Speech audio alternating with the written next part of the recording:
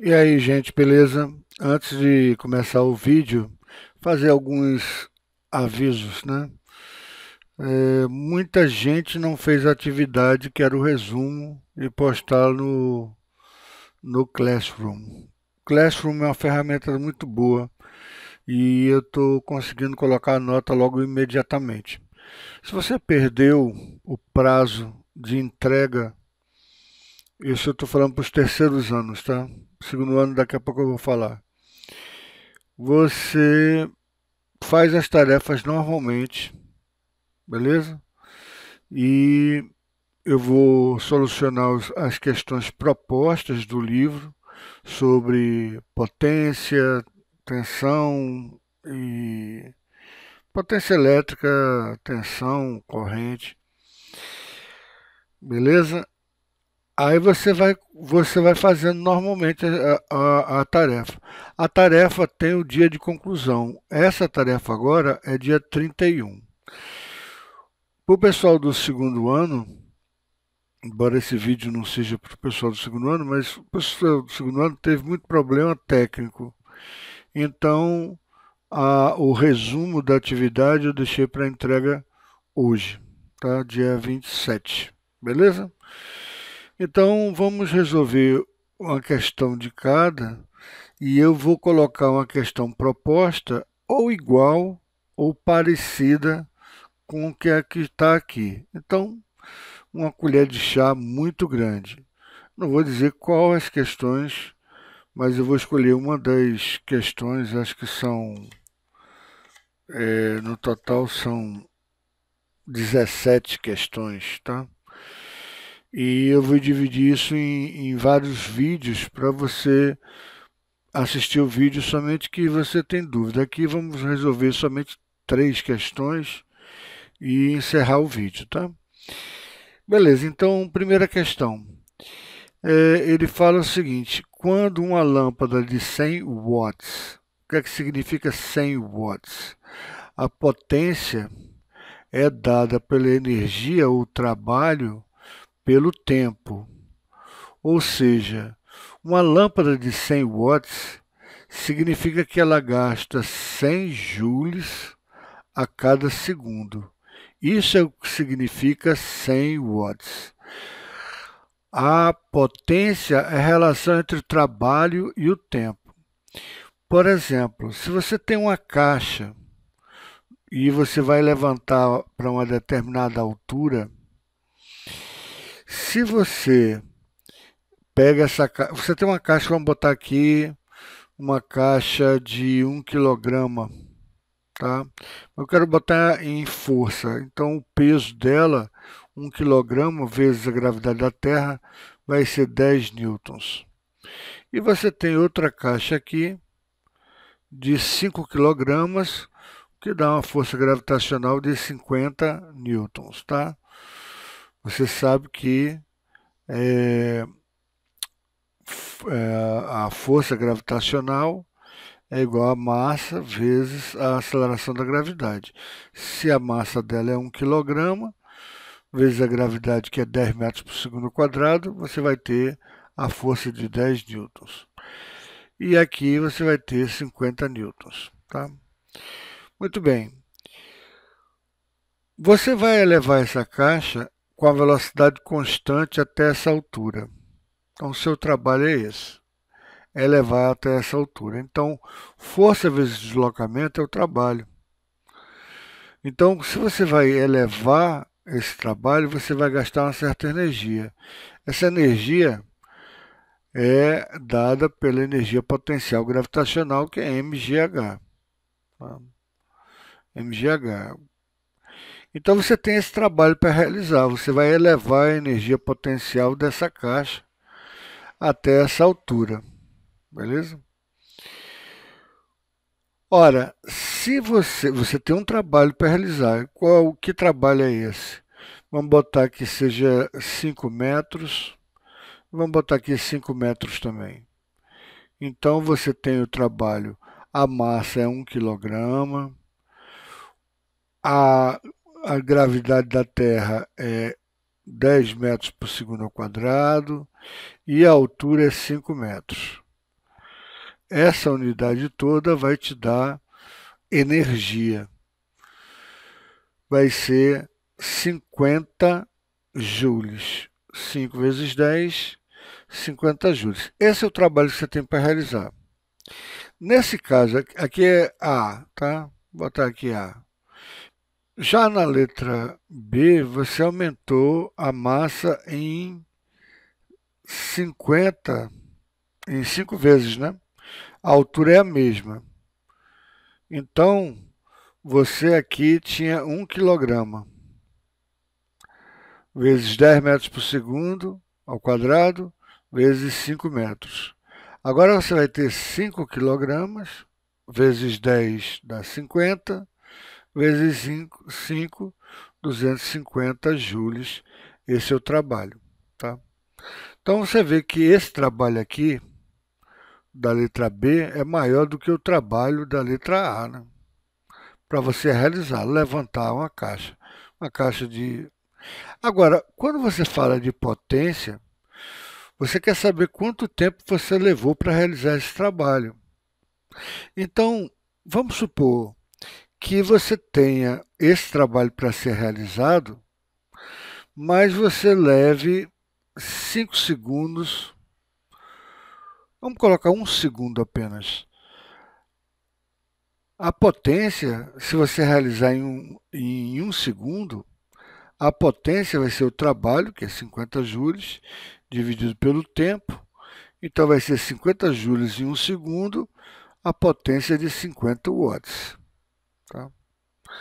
Na letra B, embora o trabalho seja maior, mas vamos supor que você leve muito mais tempo, porque a potência não depende só do trabalho que você vai realizar, vai depender também do tempo que você leva para realizar. Então, se você leva muito mais tempo, em vez de um segundo, como foi aqui, você leva 25 segundos, tá? Então a potência na letra B vai ser o trabalho, vai ser o trabalho de 250 joules, mas você levou muito tempo, 25 segundos, o que vai dar 10 watts. Veja, Aqui você realizou mais trabalho, mas como um elevador de carga que leva muito mais tempo para subir, você é, levou muito mais tempo. Então, você levando muito mais tempo para realizar, mesmo que você realize mais trabalho, você pode ter uma potência menor. Obviamente, se os tempos forem iguais, por exemplo, todos dois forem 2 segundos, então isso aqui vai ser 50 joules em 2 segundos, o que dá 25 watts. Agora, a potência do 2, eu vou realizar 250 joules em 2 segundos, vai ser 125 watts. Então, se, se o tempo for o mesmo, quem realiza mais trabalho tem mais potência. Agora, se o tempo for muito grande, mesmo que você realize muito trabalho, pode ser que sua potência seja menor.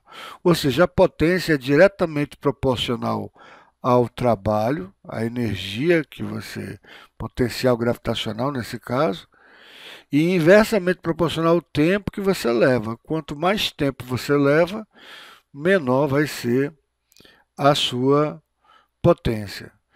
Quanto mais trabalho você faz, maior vai ser a sua potência.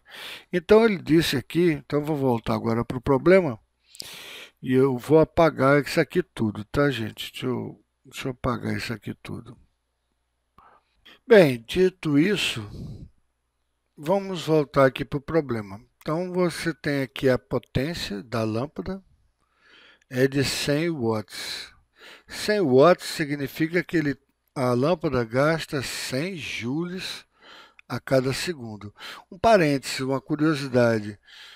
A nossa energia, o que a gente gasta só para viver, é de 100 watts. A gente é como se fosse uma lâmpada de 100 watts, apenas para o coração da gente bater, o cérebro funcionar, esse tipo de coisa. É energia basal que a gente chama, tá? Por isso que a gente tem que consumir alimentos que tem calorias, etc e tal, tudo que se baseia em energia. Ele é ligado por, por 12 horas seguidas. Muito bem, então tempo de 12 horas seguidas. E consome uma determinada quantidade de energia elétrica. A gente já pode calcular aqui, porque o a potência, vamos botar aqui, a potência é o trabalho sobre o tempo, né? Então, a quantidade de energia que eu trabalho aqui vai ser a potência vezes o tempo, né? Então, o, a energia gasta por essa lâmpada em 12 horas seguidas é de 100 watts, né? 100 joules por segundo, vezes 12 horas, né? Ora, 12 horas eu posso calcular em quilowatt-hora, porque 100 vezes 12 dá 1.200. 1.200 eu posso dizer que é 1,2 K.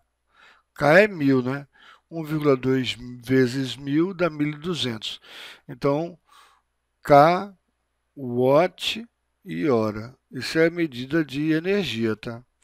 Mas você também pode medir em é, joules, né?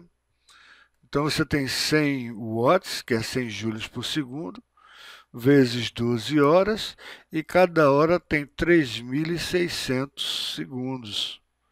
Então vai dar um consumo de, fazer aqui na calculadora, 100 vezes 12 vezes 3.600 segundos, 4 milhões 320 mil joules, 4 milhões 320 mil joules.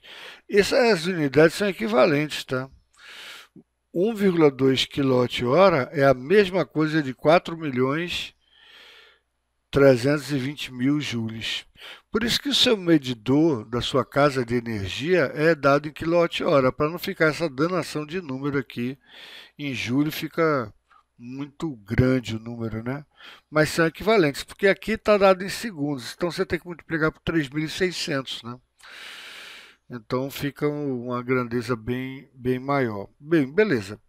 Aí vamos continuar. Para que seja consumido o dobro dessa quantidade de energia, ora, se é o dobro da quantidade de energia, a energia agora gasta, vamos dizer, energia total, o dobro de energia vai ser 2,4 kWh, ou o dobro disso aqui, que é 8 milhões 640 mil joules, que é a mesma coisa.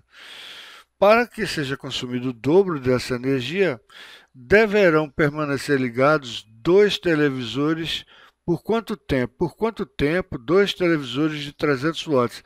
Então, o consumo, a potência total, a potência dos televisores, né? Vai, eh, são dois, né? Então dá 600 watts, né? Ou, desculpa, 600 watts. Ou 600 joules por segundo, né? 600 joules a cada segundo, né? Ora, se eu quero saber o tempo, se eu quero saber o tempo, ora, potência vai ser o trabalho sobre o tempo.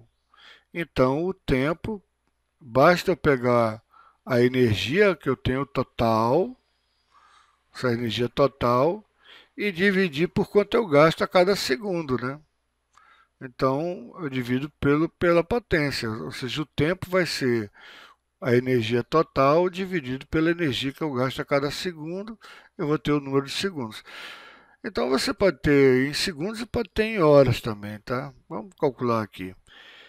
O tempo vai ficar sendo 8 milhões 640 mil joules dividido por 600 joules por segundo, né?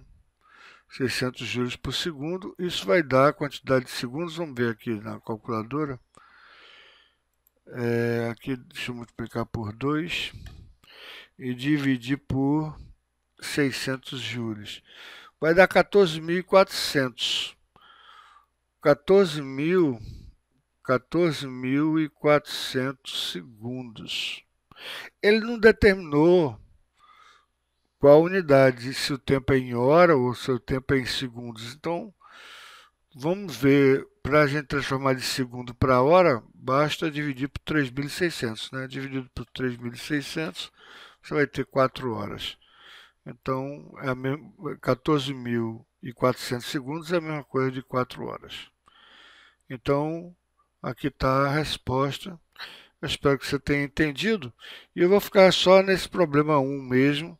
E vamos ver se a gente faz os vídeos dessa forma. Problema 1, problema 2, problema 3. Porque aí você escolhe qual é o problema que você está com dificuldade de... É, alguma dificuldade, alguma dúvida de chegar na resposta, aí você dá uma olhada no vídeo, beleza? Então valeu, até a próxima aula. Até o próximo exercício, na realidade.